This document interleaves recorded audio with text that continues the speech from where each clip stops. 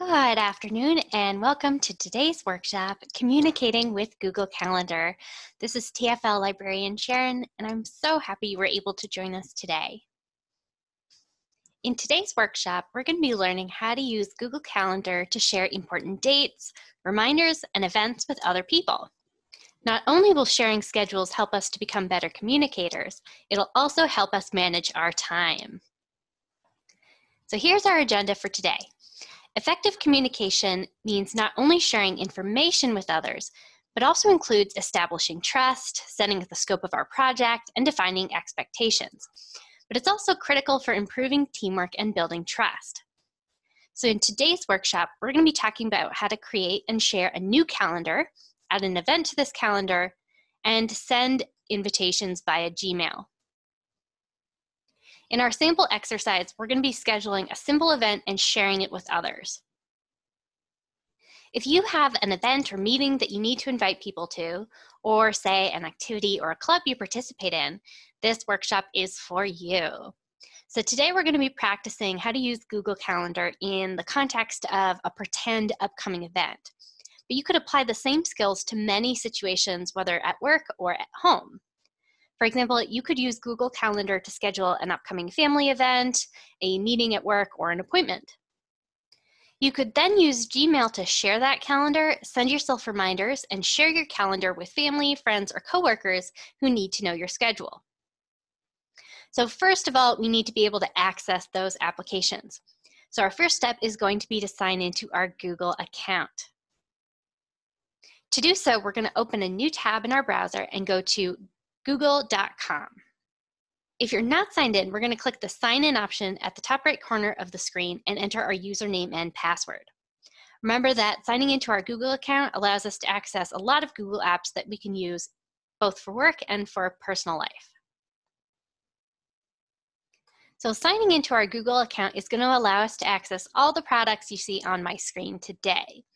Remember that you do only have to sign in once to be able to access, say, Google Sheets, Docs, Slides, Photos, Forms, Gmail, Calendar, and many more. Once you've signed into your Google account, we're going to use the Google Apps menu to move between apps. That icon is displayed here in the center of the screen, although it's often found at the top right corner of your browser window. So let's start planning our imaginary event using Google Calendar. Digital tools like Google Calendar make it easy to keep all this information organized. Now, I'll admit I love bullet journaling as well, but I have been known to leave my journal at home. The advantage of Google Calendar, of course, is that I could access it from my home computer, my smartphone, and from my work computer. So I'm never without access to my calendar. There are lots of activities that we could schedule as repeat events, say like club meetings, after school sports, volunteering, practice for, say, music, or even our work schedule. But we could also have one time events a haircut, a party, you name it. For today, we're going to be inventing an event to schedule. And we're going to try to think of something that would need to be shared with others more than once, say, like a club meeting, a sport, or volunteering. To navigate there, we're going to first select the Google Apps icon and then find the Google Calendar icon. That's how we'll get started. Doing so will get us to our personal calendar. If you share this calendar with your group though, they're going to see everything you add, even doctor's appointments, family birthdays, and personal errands. That's a lot of information that you probably don't need to share with other people and frankly may not want to. Creating a new calendar allows you to share information with just a select group of people. For example, your coworkers. To do so, we're going to find the My Calendar option on the left side of the screen and select the plus button to add other calendars. Once we've done so, you'll notice we have a few different options. For today, we're going to click on the Create New Calendar button. So now that we've created a new calendar, we're gonna have to add a bit of description, including a name for the calendar, something that will make sense to other people.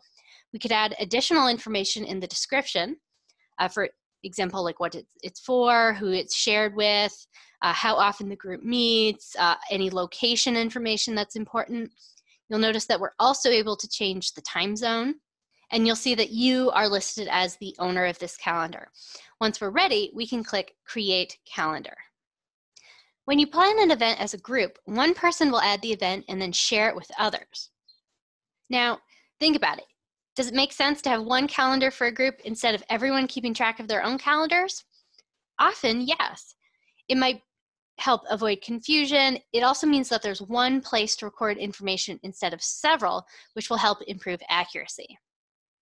So now we're going to add an, our event to our newly created calendar. You'll notice at the top of your calendar, we have the option to change how it displays, including do we want to see specific days, do we want to see specific weeks, or do we want to see the month at a glance? So now we're going to add our event. To get started, let's view our calendar by month rather than day or week. Select any day for our event and just click on that day. Once we do so, you'll see that a pop-up window appears where we can add additional details for this event. First thing to do is to add the name for the event. Select a name that's short, preferably, because sometimes it will be cut off, as you're already seeing here on my screen, but something that is meaningful to other members. Then we're going to click Edit the event to add additional details. Here we could change the date if we accidentally clicked on the wrong day. Uh, we can also change the duration of the event. We can add a location, description, or even attachments if, say, there's a handout attendees will need. We can click on the Add Time option to specify the start and end time of the event, or we can indicate that the event runs all day. In the description of the event, we could add an agenda if it's a meeting, add a list of materials people need to bring if it's an activity, or provide background on the purpose of the meeting. Right now, of course, with everyone doing meetings online, you could also include, say, the Zoom or Skype login information for your meeting so people have ready access to it at meeting start time. Now, before we click Save though, we're gonna wanna to make sure that the event is saving to our correct calendar. By default, events are going to fill on your personal calendar, but in this case, that's not what we want. To change from our personal calendar to the group calendar we created earlier, we're going to want to click the drop-down list at the bottom of the event window and select the new group calendar you created. Once you've completed the calendar with this event, for example, uh, we can share it with others on our team or our group. The advantage of sharing a calendar with others is that it does make it easier to coordinate a lot of things. You could let club members know about upcoming meetings.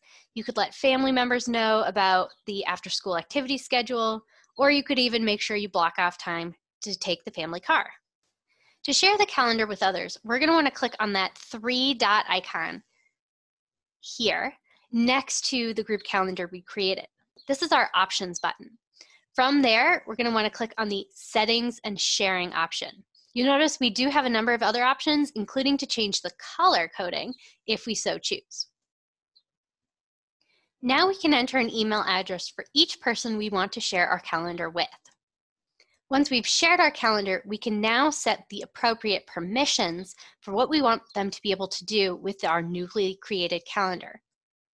If we want them to be able to edit our calendar, we can give them permission to make changes to events. If we only want them to be able to see events but not make changes, we can just say, see all event details.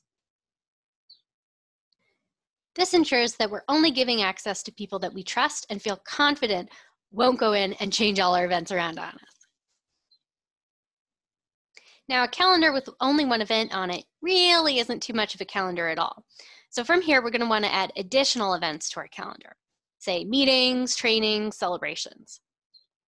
Again, we're going to want to select a date and schedule the event. If we're using Google Hangouts, we can actually add the conferencing information directly to the event. Remember though, we could always add other products links, such as Zoom, Skype, you name it, directly into the description box. Then of course, we're going to want to invite our group and save the event. Now let's take a look at it from the other side. So this is what a recipient will see when you invite them to an event from your Google Calendar. So you'll notice that they have received an email uh, this is displaying as if they were uh, accessing it in Gmail itself, uh, but of course you'd be able to invite them regardless of their email address. Once they open this email, they'll have the option to respond to your invitation, including saying yes, they'll be able to attend, no, they won't, or maybe, depending on their schedule. If you've given them edit permissions, they also may be able to suggest an alternative time if they're not able to make the meeting as scheduled. All right, we're just about out of time for today, but I hope you're feeling more comfortable with Google Calendar. In this short workshop, we've already created a new calendar, shared the calendar, and practice adding new events. Now remember that Google Calendar is not the only app that Google offers either. Once you feel comfortable with Google Calendar, you may also want to explore Forms, which is a great way to make surveys to collect feedback from others, Google Slides, which I'm currently using to display a presentation, Google Hangouts, which is a video conferencing tool, or Google Sites, which lets you create a free basic website. This is a very basic overview of Google Calendar, but I hope you've seen a way that you could use it either at work or at home. Thank you so much for joining me today. Remember that the Turner Free Library has begun to offer contactless curbside pickup.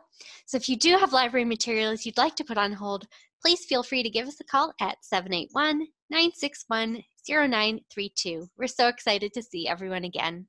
Bye bye.